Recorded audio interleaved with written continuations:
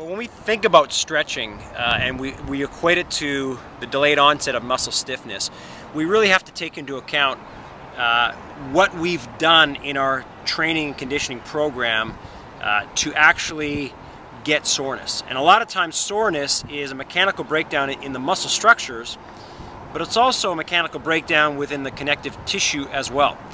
And if we have enough mechanical breakdown in the tissues, then we're going to stimulate some nociceptive responses. And so nociceptors are little are receptors within the body that are pain receptors. And if we stretch, sometimes we numb those pain receptors. Sometimes we get a massage, we numb the pain receptors. So to say that it gets rid of the soreness, it may, but there's still an underlining mechanical uh, mechanical distortion in the pattern. We're still getting some mechanical damage to the system and if it is a low grade tissue breakdown, then we've got good adaptations. If it's a high degree of tissue breakdown, that could actually lead to injuries. So, to decrease the soreness may not necessarily alleviate the mechanical breakdown that our body experiences. And that's really one thing that we need to distinguish is that pain, if we numb it, doesn't mean that the problem or the damage has gone away. And our nutrition, uh, our movement strategies, our periodization programs, all will ensure that the tissue breakdown that we have can be accommodated correctly by the body instead of having this one on top of the other breakdown that leads to tissue fatigue and tissue injury. And so we need to think about what we're doing, how much stress we're applying to the system, and if stretching is diminishing the pain response, we still have to be aware that there's still mechanical breakdown in the system.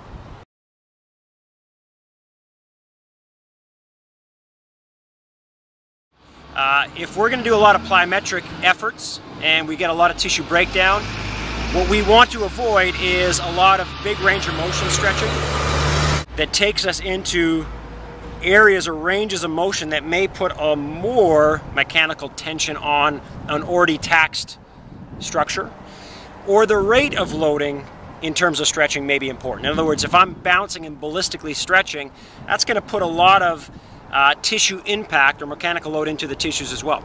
So it really depends on what I've done uh, leading up to this and why I'm choosing the stretching protocols that I'm choosing. A lot of times what we do is movement-based flexibility measures because it's teaching the nervous system, it's teaching the muscular system to properly adapt and control the motion but it also teaches the fascial system a good way of actually receiving the load so that it's not too quick and it's not too uh, too short. Because if it's or too long rather. Because if it's too long and lengthened you're going to get this plastic deformation which may not be the best thing that we want. So longer duration stretching will lead to plastic deformation.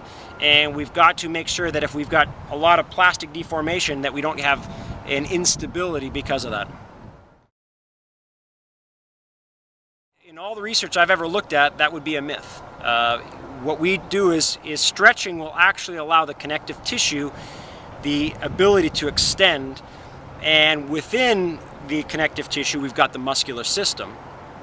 But to say that we're longer and leaner, well, leaner is a function of how much body fat we're carrying, and longer muscles in itself is a measure of how much extensibility we have. So we do want to stretch but something that equates stretching with longer and leaner muscles, I've never seen any research that correlates those two together.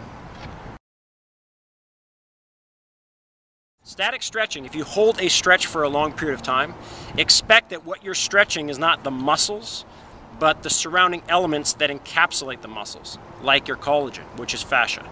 And if you sustain a stretch for a long period of time, let's say 20 seconds or more, you're going to have a low grade and a long duration stretch, which is going to lead to plastic deformation. So in fascia, you have something called a fascial creep, where you start to actually get into the deformation, the plastic deformation elements of the fascia.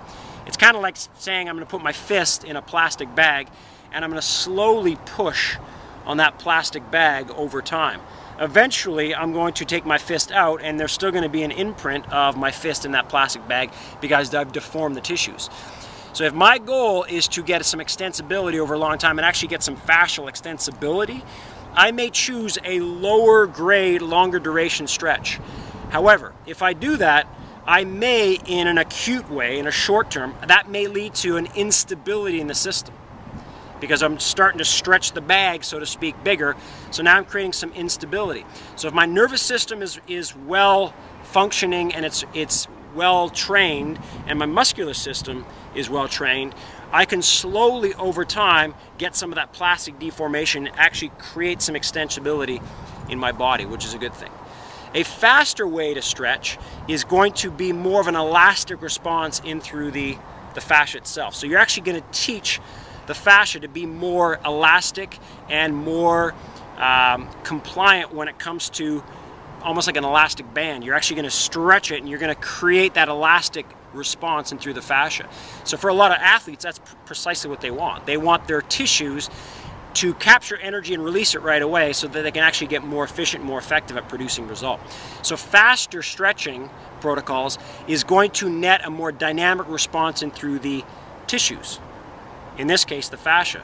So that would behoove a runner to be able to go gradually into a more speed element of a stretch. But we've got to make sure that we don't do too much too soon.